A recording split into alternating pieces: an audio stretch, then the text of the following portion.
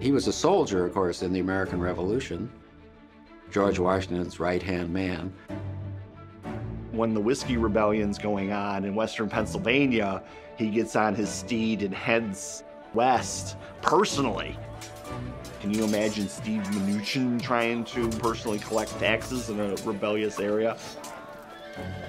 Hamilton the soldier, the constitutionalist, the financier, uh, finance minister.